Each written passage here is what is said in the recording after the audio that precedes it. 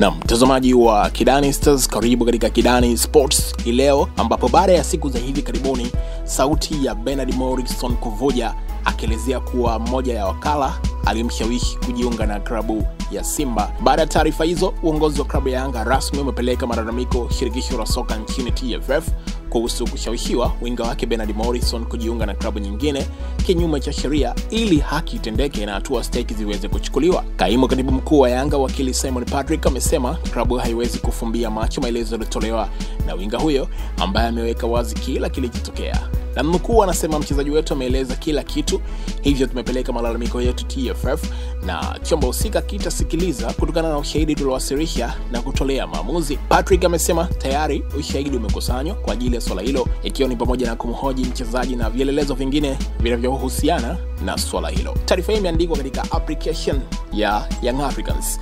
Kumbuka kusubscribe kwa habari zote kali kubwa ambazo zinatufikia kutokea hapa, lakini pia usache kutufuatilia katika social media zetu Instagram, Facebook na Twitter ambako kote huko tunajulikana kama Kidani Stars.